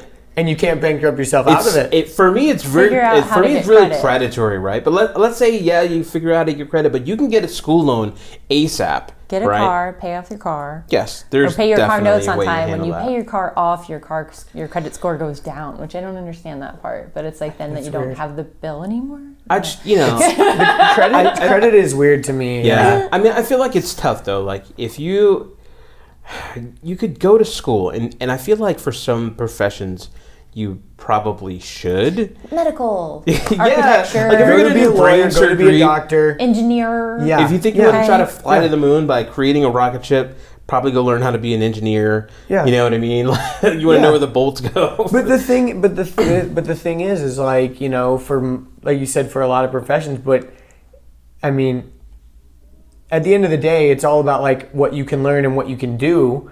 And it's not like a university system is the only place where you could learn those skills or learn those things. It might be it might be the best place. It might be the most efficient place, but it might not be. And it probably isn't now. Yeah. Yeah. Like it just probably isn't. And that was one thing actually um, Maya who you guys met last night, she was on my podcast and one thing that she said was if I'm going to learn something, I either want to spend a lot of money so that I can learn it quickly or I want to spend a little bit of money and kind of do it myself. And college is like the, the worst of both worlds because you spend a lot of mm. money and, it you takes a lot it of time. forever. Mm-hmm. Yeah. yeah. And there's it- no velocity. yeah. Yeah, and, it, and it Yeah, takes so much there's sense because jump it's like it, it's like with like an online course or with you know someone who's like an expert. You could come to them, you know, okay, cool. I'm going to spend a lot of money, but I'm going to get exactly what I need. Or you know, I'm going to try to do it on my own. It might take a little bit longer, but I don't. At least I won't have to spend the money that I'll have to. But you spend. can see why, like for us, like that's part of the challenge, right? Is like the thinking is that like I'm going to spend the money and I'm going to go to an expert. I'm to get exactly what I need. And I'm going to be able to apply it and get those wins. But like, what happens when it doesn't work that way? You spend the Mm-hmm. money, and you know the idea of getting it done and learning it and being able to apply it is really great. But unless you know you, Yeah. they actually deliver, that doesn't work, Mm-hmm. and it really impacts people in a bad way. for sure, and it puts a bad taste in their mouth, and then they're like, ah, I guess now I everyone's guess a my pipe dream is charlatan, fail. and now they're afraid to spend the money on that thing, and now they're not going to get that actual transformational piece that they needed to get to the next step. Mm-hmm. And now they go get a job and go back to the you know the old things that they think used to work and no longer necessarily do for most people. Yeah, exactly. Man, their life sucks. I'm not Sounds trying to horrible. say that. no, yeah, no, I know, I agree. I you know, agree. I just No, think you can hack the timeline with it. No, you definitely can, and and I think podcasts like this give people that little bit of hope or inspiration, or hearing from people like you guys that you know not only are just saying the ideas, but also backing it up by creating real results. And which by the way, it's not even amazing. like it's not only just like small solo entrepreneurs that are like having challenges with this. We've had companies come to us that are selling hundred million dollars in online courses and Annually. only having three point nine percent people completing it. wow. You know, they now they they're making money so they can throw it back into the marketing, but like tons of people are on their list or falling off their list. They have no idea how to get that transformation. So it's not like it's in a silo either, where it's like only the people that are you know they're No. doing a little widget thing. Like these are some of these are huge companies. They're like I don't know. Well, it's kind of like the blind leading the blind. Like if you're a small time creator person, small time uh, course creator, and you're looking at these big companies that are doing it wrong, and Yeah. you're following their model Yeah. you're like, well, they're selling millions of dollars worth of courses. I, I should probably follow what they're doing. Yes, but it's the blind leading the blind. They don't even know Yeah. what they're doing. Correct. Yeah. I think it comes down to back again to the intentions. You know, if you're like your intention is like, how can I really serve the people that I'm, I'm trying to share this message with? Mm-hmm. You know, how can I do it the best of my ability? Then I think it'll lead you, lead you down the right path. Yes. To go back to Dr. Carrie, what you were saying earlier about um, about kind of now that college does not like you were saying for your for your kids, like you have this option. So what for people out there that are at that crossroads right now in their life, because I know that there's young people listening to this that are in high school trying to figure out what the heck to do. You know, I'm gonna get so many emails from parents. no, um, it's. I mean, What did you Dr. Carrie, say? right, what did you say? No, and, and I've actually, yeah. But I, th- I think this is really, you know, because all their life and probably in school right now and whatever, what their parents may or may not be telling them is, you know, go down this path and maybe it feels right for them, maybe it doesn't. And so, like, mm-hmm. what kind of, you know, like, what, what's the advice that you're giving to your own kids and maybe someone else can take this or, or even parents can take this and, and, and give this advice to their kids as well? Sure. So we haven't figured out 100% how to address it with my son, mm-hmm. honestly. Um, but what we've showed him is there are other opportunities and other possibilities, right? So when he was 13, my dad taught him how to code in three languages and take apart a computer and put it back together. Um, Wow. So he's he's pretty gifted. Um, we've introduced him to e-commerce core an e-commerce course where to um, drop ship and have your t-shirts printed and kind of like told him if he wanted to create some sort of a t-shirt printing company, we would go ahead and give them seed money for ads and to pay for the first bulk order, right? So I mean, we've told them like there's possibilities and we'll support them on that. Um, kind of like feeding the the idea of you know, I, I, met a couple across the table from us at a dinner we were at over at the ClickFunnels event one night, and they were saying that their son has been making $4,000 a month on Amazon selling pet rocks for the last couple of years, and he's 17. Crushing it. Yeah, yeah, and and he's like, and they have a company. He's got like the market cornered. Yeah, and they, Bro. his parents have a company, and he's like, they're like, you know, what are you going to do? Or you, you, can you can ramp up this pet rock thing. You can go further. And he's like, oh no, I think I want to come work for you. And his mom's like, you won't make that much working for me. Like I've got full time employees that don't make as much as you're making on Amazon right now. You know, so and he couldn't wrap his mind around that. Wrap probably. his mind around that. Yeah. So I mean, I, I try to, you know, we try to feed. Um, Christopher's brain with all these other possibilities. And right now, actually, Lechon introduced him to music production, took him to DJM Squared in the studio Very and cool. showed him that. And so, TSM like, Studios in Orlando. Yeah, so yeah. I've seen him like on Snapchat mixing beats now. So I'm like, okay, he's showing an interest in something. But I think that that's the thing is like you just keep as a parent. I don't have this shit down but but nobody does. Nobody does. Secrets out. right. Like each uh, child uh, is different. It's another human P.S. being. Parenting's hard as shit. Right. I try to introduce him to other possibilities and and let him be him. And if he goes to college, I'm not going to laugh at him if he gets student loans. I'm just going to be like, I tried. Right? like, yeah. I tried to help you. I paid for I your college. It. I showed yeah. you everything, and you still want to do it? Still want to do it, yeah. Yeah. Um, so I mean, no, but like that, you, but you're totally right though. Uh, earlier, you're kind of like you can do the whole keg thing and f- living on your own thing and all that without the college part. Like, don't need to do that. But no. like, no Still parent cool wants to see their child, uh, you know, starving, homeless, struggling you know? And so that's the idea. We think that they're going to struggle if they don't do that. We're more than happy to figure out how to support them in a dorm room but not how to support them to get them like to the point of getting a job you know? But if you it's just delaying the struggle really. Yeah. Yeah. So i mean it's like you're still in high school. Start to figure out how you're going to make money. Lots of people do you know like start figuring out like do you want to do e-commerce? Do you want to do something that's automated? Do you want to do something that you know brings in revenue to pay you for your art? Like what are you mm. really actually interested and passionate about? And figure that out before you have to leave the nest. I think that's kind of like the key is like yeah. what, how can you at, at what pace can you embrace your own passion? Mm. you know in from and there figure out what your passions like, are yeah like well even if you don't like know it's like you can explore it and he's kind of like in that phase like hey yeah. I, I, think i'm really interested in music i'm he's finding all these different artists and all these different production like what tools would i need for that and where are the resources for that like he's trying to figure that out and, and so like i'm i'm taking that opportunity to kind of share more and more with him about what i know about that because i know like after he finds and kind of hones into whatever that is then then we have the the know-how and the tools to like, hey, this is how you can get some momentum behind that. That's awesome. And and don't be afraid to take a shit job in the meantime. Mm. Like some people are afraid of hard work. I worked at a factory bending metal for a couple of months. Like and messed up finger? her finger. Totally, I, I, crushed it. I wouldn't suggest crushed this. It. I crushed Not it. Not in a good way. Not in a good way. I wouldn't suggest that for anybody, but at the same time, like so you can wait tables, you can work at like Target. You, I'm not putting Target down, but I mean, like you could go work at Frontier. I am putting Frontier down.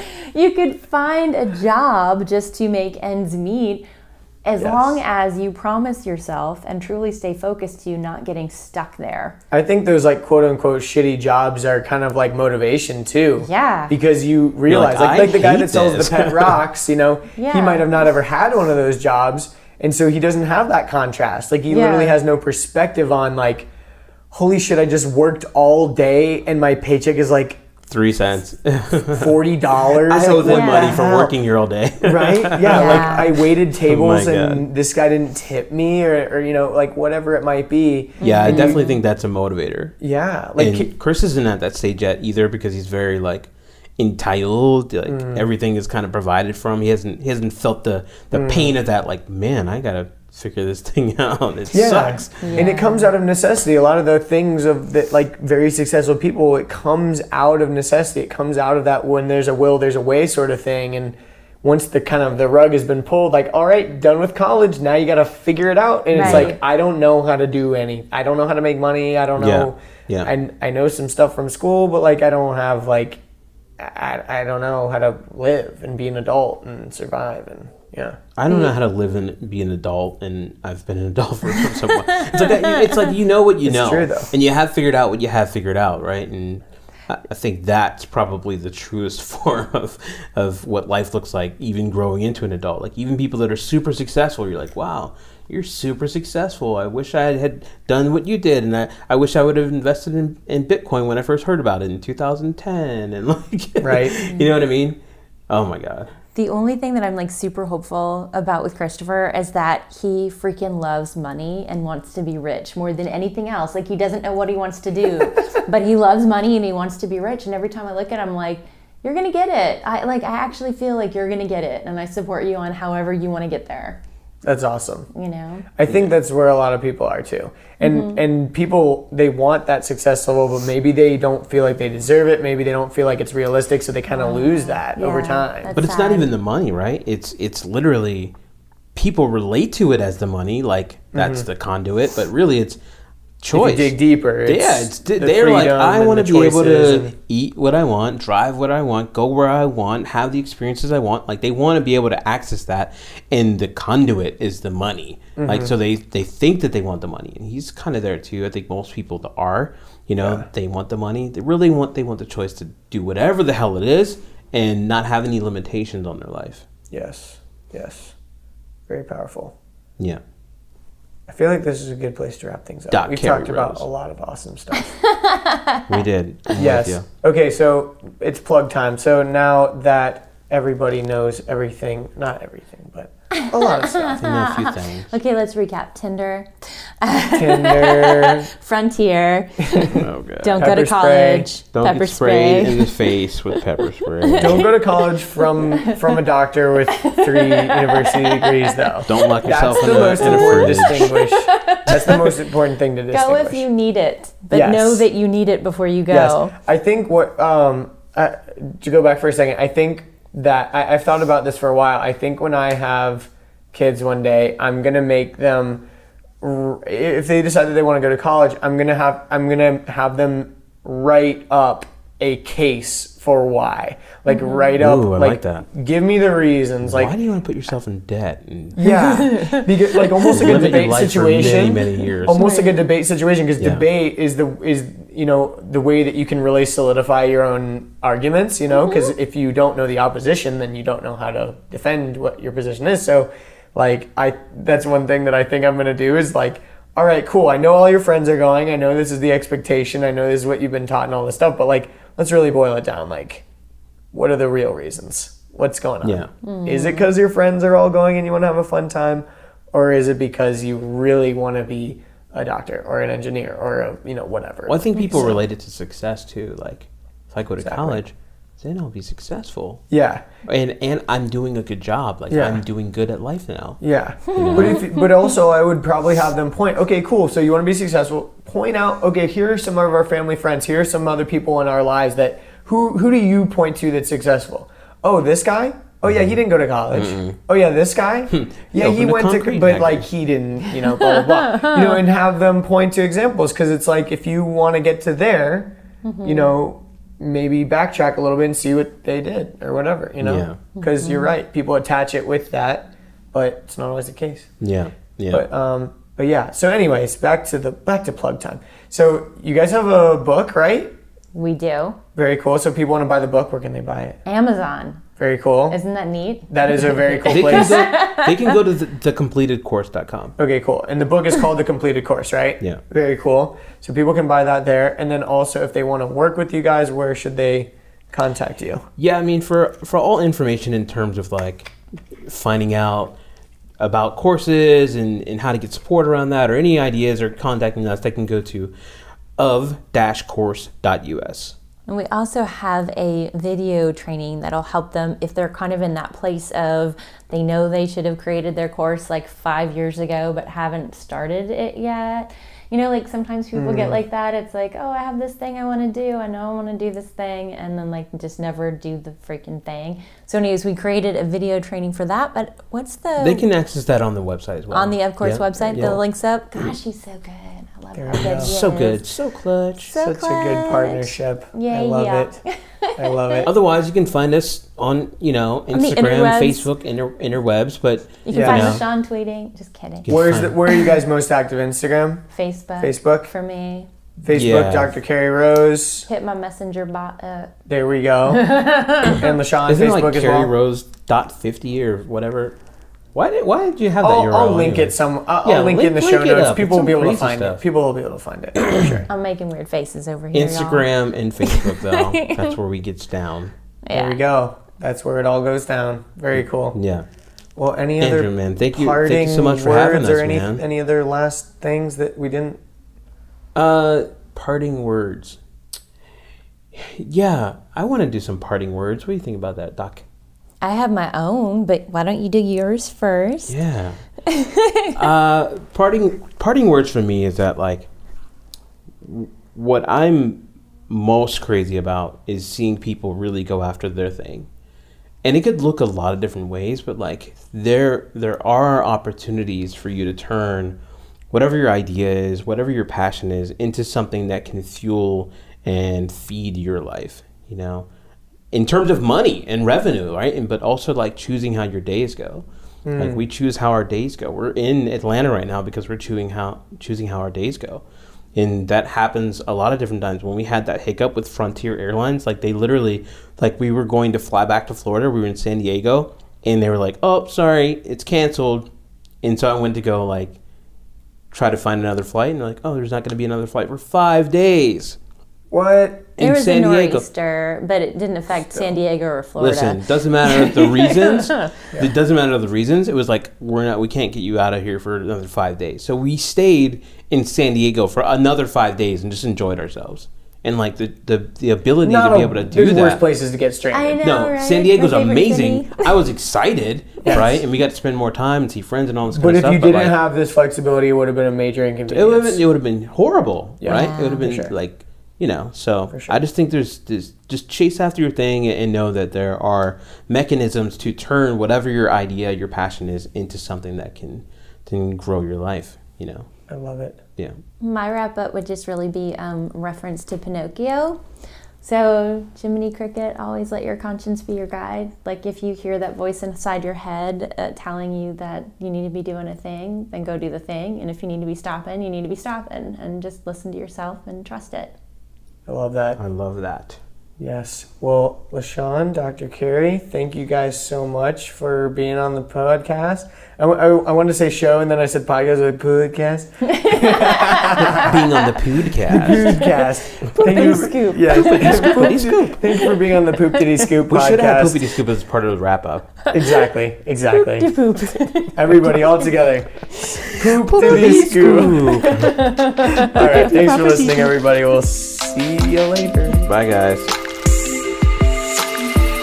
Boom. There we go. Thank you, Dr. Carrie and Lechon, for being on the show. Make sure you go follow them on every social media channel known to man. They're super kind people who just really want to see their clients and students succeed. Um, you can find them on Instagram, Facebook, all that kind of stuff. If you go to their website of course.us, you can find the links to their social media handles and accounts. If you're bummed because this episode is over and you want to keep listening, then definitely go check out episode 90 with another power couple, Ayaz and Zenat Momin. And Ayaz is the founder and um, lead designer, brains behind Threads and Beams, an Atlanta based company that not only creates super high quality custom shoes, bags, and accessories, but they actually donate 50% of their profits to go towards community enrichment in Atlanta and abroad. And his wife, Zena, is a traveling registered nurse. And she's also a certified personal trainer and nutrition specialist. She's also my favorite coach on the Fit Radio app. She's basically a freaking badass. Badass. I'm losing my voice. If you've been following my Instagram, you would know that I actually just got a handmade custom bag from them, from Threads and Beams, and um, it's pretty freaking awesome. So go check that out episode out. Episode 90. Episode 98 is coming up next with my friend Tori Madison. She's pursuing a master's degree in integrative nutrition and health coaching, and she helps other people overcome fears and limiting beliefs to awaken their passions and rise from pain into purpose. And she's the co author of the book 20 Beautiful Women 20 Stories That Will Heal Your Soul, Ignite Your Passion, and Inspire Your Divine Purpose, and also the ebook Three Daily Habits to Holistic Health and Heart Healing. And after tragically losing her younger brother a few years ago, um, she was, you know, absolutely devastated, absolutely crushed. But I think that that was the catalyst that really set her off on this journey of physical and spiritual healing. She's an amazing story, and we laughed, we cried, and it got really vulnerable, but it was amazing. And that episode will be out next week, so stay tuned. If you want to support the show, you can go to my website, you can go to um, my website. You can find all my social media handles and accounts. And I'm losing my voice. Um, you can also go to iTunes. That really helps me out. Go to Apple Podcasts. You can find um, the ratings and review system there where you can leave me a five star review. You can also leave me a little comment there, um, kind of just you know reviewing the show. I do read all of those, and it really helps me out to have more ratings um, in the rankings of iTunes and Apple Podcasts and all that. So if you're on an iPhone, go to the Apple Podcast app and please rate it five stars. That really helps me out. Also, um, like I said, if you want to follow me, you can find me on my website. I've been posting a lot on my Instagram recently, so definitely go check that out. Also, um, if you want to share it with a friend, you know, like word of mouth kind of thing. People are always asking about recommendations for podcasts. I would really appreciate it if you would mention my name. Anyways, that's all I got, folks. Thanks for listening, and I will see you all next week. Frontier Airlines against hates military vets. You know, I, I actually went to Twitter with that when I got pissed at them one day. I'll do it again if they act up.